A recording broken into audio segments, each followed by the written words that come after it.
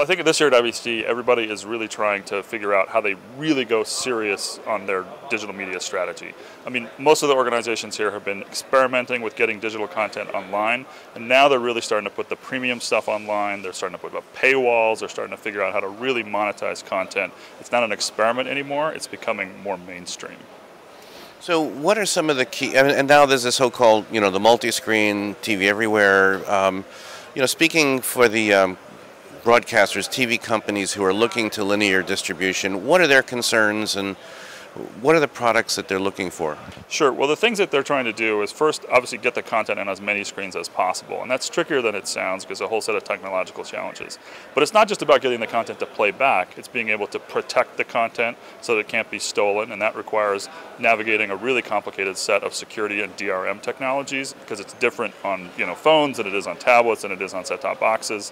So that's really tricky. The other thing that people are struggling with is how to monetize their content, either through paywalls and paid media approaches or through advertising. And the advertising execution in a, in a multi-screen environment can get really tricky as well. Doing mid-roll ads and, and executing you know ad pods and other type of more sophisticated advertising strategies is you know easier to do on a PC than it is to do on a device today. And so that's another challenge that I think people are really struggling with and something that we're trying to help organizations with.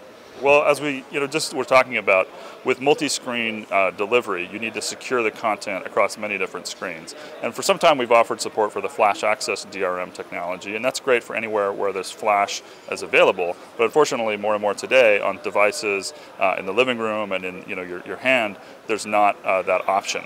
And so people want to be able to have DRM that works on these other types of devices. Now, Widevine is a DRM technology that's been adopted across over almost 300 million different consumer electronics devices, from Blu-ray players to um, you know smartphones, tablets, other types of, of CE devices.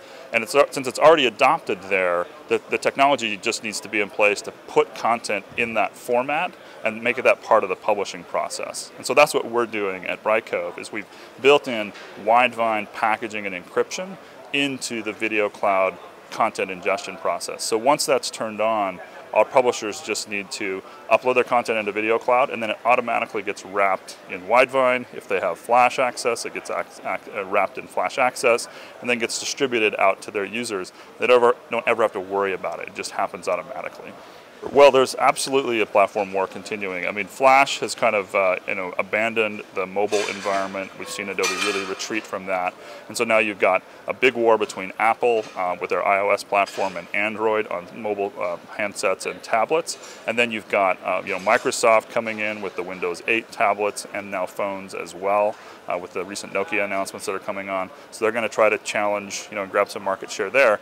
But that's not all. I mean, it's also in the living room. You've got all these over-the-top boxes, know, be it Roku or, and now you've got the game consoles, you know, Xbox versus, um, you know, the, the PlayStation, and, and then all the smart TV platforms. Each of the smart TV platforms, whether it's Samsung or LG or Panasonic or Sony, have their own platform technologies for how they deliver content and protect content and do monetization.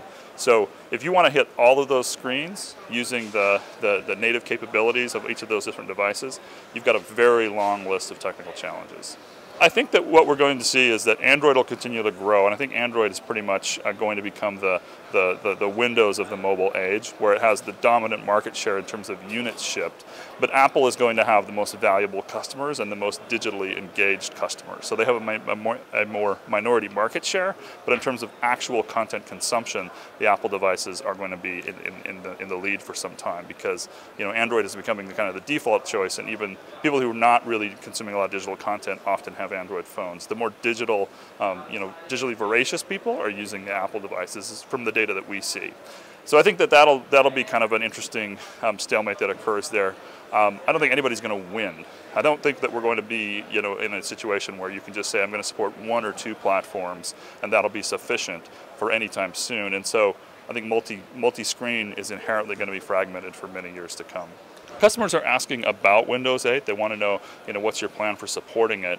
But because it doesn't really have any market share yet, um, and it's not clear exactly how fast it's going to get market share, particularly on mobile devices and you know smartphones and tablets. Um, everybody's kind of in wait and see mode. Nobody is coming to us and saying, "I've got to have Windows 8 support by such and such a date." They just kind of want to know what the roadmap is and how things are, are playing out and what the options are um, it's not yet reached a point where it's critical mass. It's very different than the, the iPad, and, and you know when that came out, that was a device where people were very certain that it was going to reach dominant market share very quickly, and they were wanted to do anything they could to make sure that they supported it. People are a little bit more reserved about Windows 8 right now, which I think is pragmatic.